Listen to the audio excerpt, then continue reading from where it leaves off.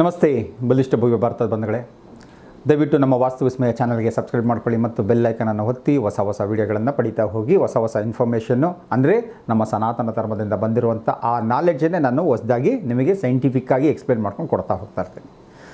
ಇವತ್ತಿನ ಸಬ್ಜೆಕ್ಟ್ ಏನು ಅಂತಂತಂದರೆ ದುಷ್ಟ ಮಗನಾದ ಶಿಷ್ಟ ಮಗ ಅಂತ. ದುಷ್ಟ ಮಗನಾದ ಶಿಷ್ಟ ಮಗ ಅಂದರೆ bad son to good son ಈಗ ಒಂದು ಸುಮಾರು ಒಂದೂವರೆ ವರ್ಷಗಳ ಮುಂಚೆ ನನಗೆ ನಮ್ಮ ಯಾವುದು? ಚಿತ್ರದುರ್ಗದಿಂದ ಕರೆ ಬಂತು. ಬಂದುಬಿಟ್ಟು ಏನಂತಂದರೆ ಗುರುಗಳೇ, ನಮ್ಮ ಅಕ್ಕವರು ಅವ್ರ ಮನೆಗೆ ವಾಸ್ತು ನಿಮ್ಮ ಕಡೆಯಿಂದ ಮಾಡಿಸ್ಕೊಂಡಿದ್ದಾರೆ, ಶುಭ ವಾಸ್ತು ಅಂತ ಮಾಡಿಸ್ಕೊಂಡಿದ್ದಾರೆ. ಮಾಡಿಸ್ಕೊಂಡಾದ್ಮೇಲೆ ನಮ್ಮ ಅಕ್ಕವ್ರು ಬಹಳ ತುಂಬ ಚೆನ್ನಾಗಿ ಚೆನ್ನಾಗಿದ್ದಾರೆ. ಅವ್ರ ಮನೇಲಿ ಎಲ್ಲರೂ ಕೂಡ ಸುಖ, ಶಾಂತಿ, ನೆಮ್ಮದಿಯಾಗಿ ಎಲ್ಲರೂ ಚೆನ್ನಾಗಿದ್ದಾರೆ, ಅನ್ಯೋನ್ಯವಾಗಿದ್ದಾರೆ. ನಮ್ಮ ಅಕ್ಕ ಆಗಲೇ ಹೇಳಿದ್ರು, ನೀನು ಆ ಗುರುಗಳನ್ನ ಕರೆಸ್ಬಿಟ್ಟು ವಾಸ್ತು ಮಾಡಿಸ್ಕೊ ಅಂತಂತಂದ್ಬಿಟ್ಟು.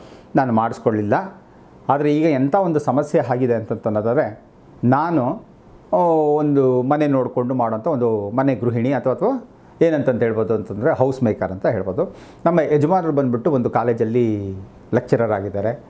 ಆದರೆ ನಮಗಿರೋ ಸಮಸ್ಯೆ ಏನು ಅಂತನ್ನೋದಾದರೆ, ನಮ್ಮ ಮನೆಯ ದೊಡ್ಡ ಮಗ, ಎರಡು ಗಂಡು ಮಕ್ಕಳಿದ್ದಾರೆ ಆದರೆ ಒಬ್ಬ ಮಗ ಮಾತ್ರ ಹೆಂಗಾಗ್ಬಿಟ್ಟಿದ್ದಾನೆ ಅಂತಾರೆ ಫಸ್ಟ್ ಪಿ ಯು ಸಿಲಿ ತುಂಬ ಚೆನ್ನಾಗಿ ತೊಗೊಂಡಿದ್ದಾನೆ ನೈಂಟಿ ಫೈವ್ ನೈಂಟಿ ಸಿಕ್ಸ್ ತೊಗೊಂಡಿದ್ದಾನೆ ಸೆಕೆಂಡ್ ಪಿ ಯು ಸಿಲ್ಲೂ ಕೂಡ ನೈಂಟಿ ಸಿಕ್ಸ್ ನೈಂಟಿ ಸೆವೆನ್ ತನಕ ತೊಗೊಂಡಿದ್ದಾನೆ, ಎಲ್ಲ ಆಯಿತು. ಸೊ ಹುಡುಗ ಇಷ್ಟಪಟ್ಟ ಅಂತಂದ್ಬಿಟ್ಟು ಇಂಜಿನಿಯರಿಂಗ್ ಕಾಲೇಜಿಗೂ ಸೇರಿಸಿದ್ವಿ, ಕಷ್ಟಪಟ್ಟು ಮಾಡಿ ಸೇರಿಸಿದ್ವಿ.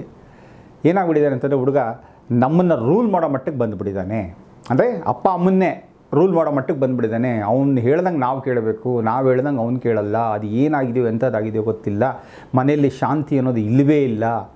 ಮಾತಾಡಿದ್ರೆ ಜಾಸ್ತಿ ಆಯಿತು ಅಂತಾರೆ ಅಪ್ಪನಿಗೆ ಹೊಡೆಯೋಕ್ಕೆ ಹೊರಟೋಗ್ತಾನೆ. ಇದು ಎಲ್ಲರೂ ಸಾಧ್ಯನಾ? ಒಬ್ಬ ಮೇಷ್ಟ್ರ ಮಗನಾಗಿದ್ದು, ಒಬ್ಬ ಕಾಲೇಜ್ ಲೆಕ್ಚರರ್ ಮಗನಾಗಿದ್ದು, ಆ ಮಗ ಹಿಂಗೆ ಆಗಿಬಿಟ್ರೆ ಅವರ ಸಂಕಟ ಏನು ಅಂತ ಹೇಳಿ ಅಂತಂತಂದರು. ಸೊ ನಮ್ಮ ಯಜಮಾನರು ನಿಮ್ಮ ಹತ್ರ ಮಾತಾಡಬೇಕಂತ ಅಂತಂದರು. ಸರಿ, ಆಮೇಲೆ ಅವ್ರ ಹತ್ರನೂ ಒಂದು ಸಲ ಮಾತಾಡಿದೆ, ಫೋನಲ್ಲಿ ಮಾತಾಡಿ, ಏನು ಸರ್ ಅಂತಂದೆ, ಅವ್ರು ಅದೇ ಹೇಳಿದ್ರು, ಸರ್, ಒಬ್ಬ ನಾನು ಲೆಕ್ಚರರ್ ಹಾಗಾಗಿದ್ದು ನಾನು ಎಷ್ಟು ಸಾಧ್ಯನೋ ಅಷ್ಟು ಒಳ್ಳೆ ರೀತಿಯಲ್ಲಿ ಮಕ್ ಮಕ್ಕಳನ್ನ ಬೆಳೆಸ್ಕೊಂಬಂದೆ ಡಿಸಿಪ್ಲಿನಾಗಿ ಬೆಳೆಸ್ಕೊಂಬಂದೆ, ಎಲ್ಲ ಆಯಿತು ಅಂತ ಸರಿ, ಆಯಿತು ಅಂತಂತೇಳಿ ನಾನು ನಮ್ಮ ಕಡೆಯಿಂದ ಟೀಮ್ ಕಳಿಸಿದ್ದೆ, ಹೋದರು, ಮೆಷರ್ಮೆಂಟ್ಸ್ ಎಲ್ಲ ತಂದರು, ಮಾಡಿದ್ರು, ಡ್ರಾಯಿಂಗ್ ಎಲ್ಲ ಮಾಡಾದ್ಮೇಲಿಂದ ನಾವೇನು ಮಾಡ್ತೀವಿ? ಆ ವ್ಯಕ್ತಿ ಎಲ್ಲಿ ಕೂತ್ಕೊಳ್ತಾನೆ? ಎಲ್ಲಿ ಮಲಗ್ತಾನೆ? ಎಲ್ಲಿ ಊಟ ಮಾಡ್ತಾನೆ? ಎಲ್ಲಿ ಓದ್ತಾನೆ? ಇದೆಲ್ಲ ಚೆಕ್ ಮಾಡ್ತಾ ಹೋಗ್ತಾನೆ. ಸೊ ಆಮೇಲೆ ಕೇಳಿದ್ರು ಡ್ರಾಯಿಂಗ್ ಆದಮೇಲೆ ಕೇಳಿದೆ ನಿಮ್ಮ ಮಗ ಎಲ್ಲಿ ಮಲ್ಕೊಳ್ತಾನೆ? ಏನು ಮಾಡ್ತಾನೆ? ಎಂಥದ್ದು ಮಾಡ್ತಾನೆ. ಓದ್ಬೇಕಾರೆ ಎಲ್ಲಿ ಕೂತ್ಕೊಂಡು ಮಾಡಿ ಸೊ ಇಲ್ಲೇನಾಗಿದೆ ಅಂತಂದರೆ, ಆ ಮಗನನ್ನು ಏನು ಮಾಡಿಬಿಟ್ಟಿದ್ದಾರೆ? ಸೌತ್ ವೆಸ್ಟ್ ಅಂದರೆ ಮನೆಯ ನೈಋತ್ಯ ಭಾಗದಲ್ಲಿ ಮಲಗಕ್ಕೆ ಬಿಟ್ಟಿದ್ದಾರೆ ಆ ನೈಋತ್ಯ ಭಾಗದಲ್ಲಿ ಬರುವಂಥದ್ದು ಏನಾಗುತ್ತೆ ಅಂತಂದರೆ ಅದು ನಿಮಗೆ ಯಜಮಾನಿಕೆ. ಅಂದರೆ, ಆ ಲೀಡರ್ಶಿಪ್ಪು ರೂಲರ್ಶಿಪ್ಪು ಆ ಒಂದು ಕ್ಯಾರೆಕ್ಟರ್ಸು ಕ್ವಾಲಿಟೀಸನ್ನು ನಿಮ್ಮಲ್ಲಿ ತಂದುಬಿಡುತ್ತೆ ಅದಕ್ಕೋಸ್ಕರ ಏನು ಹೇಳೋದು? ನೈಋತ್ಯ ಭಾಗದಲ್ಲಿ ಯಾವಾಗಲೂ ಮನೆಯ ಯಜಮಾನ ಇರಲಿ ಅಂತಂತ ಹೇಳ್ತಾರೆ. ಯಾಕಂದ್ರೆ ಮನೆ ಯಜಮಾನ ಇದ್ದರೆ ಅವನೇ ನೋಡ್ಕೋಬೇಕಲ್ವಾ? ಅವನಿಗಲ್ಲಿ ಆ ನಾಯಕತ್ವನ ಗುಣಗಳು ಬೇಕು. ಅವನಿಗೆ ಅದನ್ನು ಲೀಡ್ ಮಾಡೋಂಥ ಕ್ವಾಲಿಟೀಸ್ ಬೇಕು. ಕರೇಜ್ ಬೇಕು. ನಾಲೆಡ್ಜ್ ಬೇಕು. ಸ್ಕಿಲ್ ಬೇಕು. ಎಲ್ಲ ಬೇಕು. ಸೊ ಇಲ್ಲೇನಾಗ್ಬಿಟ್ಟಿದೆ ಆ ಹುಡುಗ ಸೌತ್ ವೆಸ್ಟಲ್ಲಿ ಮಲಗಿ ಮಲಗಿ ಮಲಗಿ ಏನಾಗ್ಬಿಟ್ಟಿದೆ? ಅವನೇ ಮನೆ ಯಜಮಾನ ಅನ್ನೋ ರೀತಿಲಿ ಆಡಕ್ಕೆ ಶುರು ಮಾಡಿಬಿಟ್ಟಿದ್ದಾನೆ. ಸೊ ಫಸ್ಟ್ ಪಾಯಿಂಟ್ ಅಲ್ಲೇ ಫೈಂಡ್ ಔಟ್ ಮಾಡಿಬಿಟ್ಟೆ ನಾನು. ಇದಕ್ಕೋಸ್ಕರ ಇವ್ನು ಹಿಂಗೆ ಆಡ್ತಾ ಇದ್ದಾನೆ ಅಂತ. ಎರಡನೇದು ಏನಾಗ್ಬಿಟ್ಟಿದೆ ಅಂತಂದರೆ, ಆ ಮನೆಯ ಭಾಗದಲ್ಲಿ ಒಂದು ವಾಷಿಂಗ್ ಮಿಷಿನ್ ಇಟ್ಬಿಟ್ಟಿದ್ದಾರೆ. ಇಲ್ಲಿ ಸೌತ್ ವೆಸ್ಟಲ್ಲೇ ವಾಷಿಂಗ್ ಮಿಷಿನ್ ಇಟ್ಟಿದ್ದಾರೆ. ಸೊ ವಾಷಿಂಗ್ ಮಿಷಿನ್ ಕೆಲಸ ಏನು?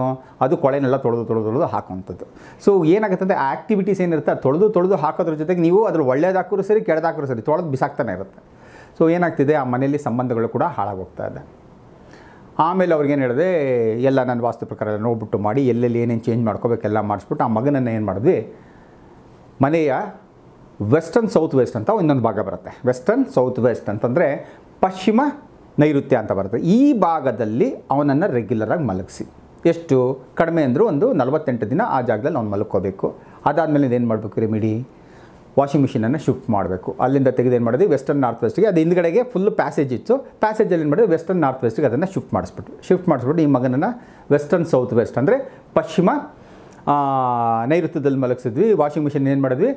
ಪಶ್ಚಿಮ ವಾಯು, ಅಂದರೆ ವೆಸ್ಟರ್ನ್ ನಾರ್ತ್ ವೆಸ್ಟ್ ಅಂತ ಬರುತ್ತೆ, ಆ ಭಾಗಕ್ಕೆ ಅದನ್ನು ಶಿಫ್ಟ್ ಮಾಡಿಸಿದ್ದಾಯಿತು. ಮಾಡಿ ಆಗಿ ಒಂದು ಒಂದೂವರೆ ತಿಂಗಳಾದ್ಮೇಲಿಂದ ನಾವು ಮತ್ತೆ ಫೋನ್ ಮಾಡಿದ್ವಿ ಯಾಕಂದರೆ ಮಾಡಿದ್ಮೇಲೆ ಮತ್ತೆ ಕೇಳ್ತೀವಿ, ಹೆಂಗಾಯಿತು, ಏನಾಯಿತು ಅಂತ. ಗುರುಗಳೇ, ಸಾಕಷ್ಟು, ಅಂದರೆ ಹೆಚ್ಚು ಕಮ್ಮಿ ಸಿಕ್ಸ್ಟಿ ಸಿಕ್ಸ್ಟಿ ಫೈವ್ ಪರ್ಸೆಂಟ್ ಅವನು ಒಂದು ಸ್ವಲ್ಪ ಸೈಲೆಂಟ್ ಆಗಿದ್ದಾನೆ. ಓದಿನ ಕಡೆ ಜಾಸ್ತಿ ಗಮನ ಕೊಡ್ತಾ ಇದ್ದಾನೆ. ಮುಂಚೆ ಅಷ್ಟು ನಮ್ಮ ಮೇಲೆ ದಬ್ಬಾಳಿಕೆ ಮಾಡೋಂಥದ್ದು ಕೂಗಾಡೋಂಥದ್ದು, ಮಾಡೋಂಥದ್ದು ಅರ್ಚಾಡೋಂಥದ್ದು ಇದೆಲ್ಲ ಏನು ಮಾಡ್ತಲ್ಲ ಭಾಳ ಸಂತೋಷ ಆಗ್ತಿದೆ. ನಮ್ಮ ಈ ಸಂಬಂಧ ಹೀಗೇ ಉಳ್ಕೋಬೇಕು ಅಂದರೆ ಇನ್ನೇನು ಮಾಡಬೇಕು ಅಂತಂತಂದು ಸೊ ಅವ್ರಿಗೆ ಮತ್ತೊಂದು ಕೊಟ್ಟೆ ನಾನು. ಏನು ಅಂತಂದರೆ ಮನೆಯ ಸೌತ್ ವೆಸ್ಟ್ ಭಾಗದಲ್ಲಿ, ಅಂದರೆ ನೈಋತ್ಯ ಭಾಗದಲ್ಲಿ ಏನು ಮಾಡಿದೆ ಅಂತಂತಂದರೆ, ಎರಡು ಆಮೆಗಳು. ಎರಡು ಯಾವ ಆಮೆಗಳು ಅಂದರೆ ಒಂದು ಗಂಡು ಹೆಣ್ಣು ಅಂತ ಭಾವನೆಯಲ್ಲಿ ಬ್ರಾಸಲ್ಲಿರೋಂಥದ್ದು ಇಟ್ಕೋಬೇಕು. ಅದರ ಮುಂದೆ ಇನ್ನೂ ಎರಡು ಆಮೆ. ಚಿಕ್ಕ ಚಿಕ್ಕ ಆಮೆಗಳು. ಅಂದರೆ ಅದು ಮರಿ ಆಮೆಗಳು. ಸೊ ಇವೆರಡು ಒಂದನ್ನೊಂದು ನೋಡೋ ರೀತಿಯಲ್ಲಿ ಒಂದು ತಾಮ್ರದ ಪ್ಲೇಟಲ್ಲಿ ಇಟ್ಬಿಟ್ಟು ಆ ಜಾಗದಲ್ಲಿ ಇಡಿ ಮತ್ತು ನಿಮ್ಮ ಪರಿಪೂರ್ಣ ಫ್ಯಾಮಿಲಿ ಫೋಟೋ ಏನಿರುತ್ತಲ್ಲ, ಅಂದರೆ ಅವರ ಗಂಡ, ಹೆಂಡತಿ, ಆಮೇಲೆ ಇಬ್ಬರು ಮಕ್ಕಳು. ಇವರು ನಾಲ್ಕು ಜನರಂಥ ಫೋಟೋವನ್ನು ಏನು ಮಾಡಿ ಅಂತಂದರೆ ಮನೆಯ ಈಸ್ಟರ್ನ್, ನಾರ್ತ್ ಈಸ್ಟ್ ಅಂತ ಬರುತ್ತೆ. ಅಂದರೆ ಪೂರ್ವ ಈಶಾನ್ಯ ಬರುತ್ತೆ. ಆ ಪೂರ್ವ ಈಶಾನ್ಯದಲ್ಲಿ ಗೋಲ್ಡನ್ ಕಲರ್ ಫ್ರೇಮ್ ಹಾಕಿ ಅದರ ಮೇಲ್ಗಡೆಗೆ ಶಿವನ ಪರಿವಾರ ಇರುವಂಥ ಒಂದು ಫೋಟೋವನ್ನು ಹಾಕಿ ಒಂದಷ್ಟು ದಿನ ಬಿಟ್ಟು ಮತ್ತೆ ಮಾತಾಡೋಣ ಅಂತಂತಂದೆ.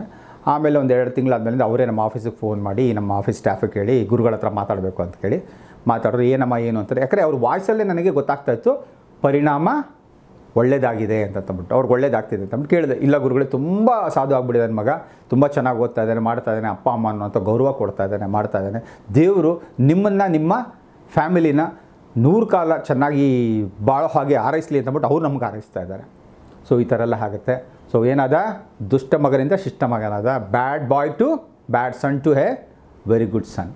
This is possible by correcting south west.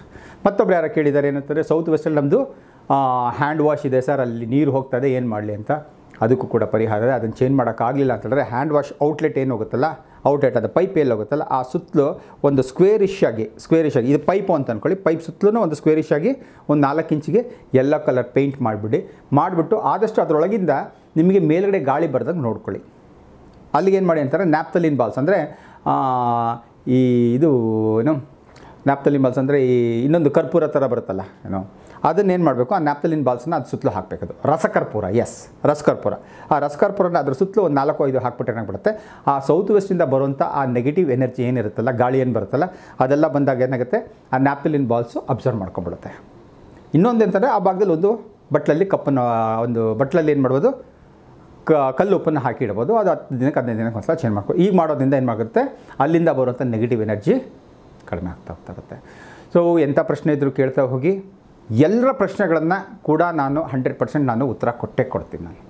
Okay ತಲೆ ಕೆಡಿಸ್ಕೊಬಿಡಿ. ಅಯ್ಯೋ, ನಂದು ಈ ಎಪಿಸೋಡಲ್ಲಿ ಬರಲಿಲ್ವಲ್ಲ, ಈ ಎಪಿಸೋಡಲ್ಲಿ ಬರಲಿಲ್ವ ಅಂತ ಯಾವುದೋ ಒಂದು ಎಪಿಸೋಡಲ್ಲಿ ಖಂಡಿತವಲ್ಲೂ ಕೊಡ್ತೀನಿ. ಯಾಕಂದರೆ ಅದಕ್ಕೆ ಪೂರಕವಾಗಿ ಬೇರೆ ಇನ್ನೇನಾದರೂ ಪ್ರಶ್ನೆಗಳು ಬಂದಾಗ ಅದು ಹೇಳ್ತಾ ಅದ್ರ ಜೊತೆಗೆ ಅದನ್ನು ಸೇರಿಸಿದಾಗ ಏನಾಗುತ್ತೆ ನಿಮಗೆ?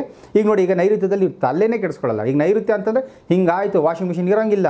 ಸೊ ಅಲ್ಲಿ ಸಪೋಸ್ ಅಲ್ಲಿ ಹ್ಯಾಂಡ್ ವಾಶ್ ಇತ್ತು, ನಾನೇನು ಮಾಡಲಿ? ಹ್ಯಾಂಡ್ ವಾಶ್ ಇತ್ತು ಅಂತಂದರೆ ಪರಿಹಾರ ಕೊಟ್ಬಿಟ್ಟೆ. ಸೊ ನಿಮ್ಮ ಮನೆಯ ನೈಋತ್ಯ ಭಾಗ ಸೌತ್ ವೆಸ್ಟ್ ಎಷ್ಟು ಚೆನ್ನಾಗಿರುತ್ತೋ, ನಿಮ್ಮ ಮನೆಯ ವಾಸ್ತು ಏಯ್ಟಿ ಪರ್ಸೆಂಟ್ ಅಷ್ಟೇ ಚೆನ್ನಾಗಿರುತ್ತೆ.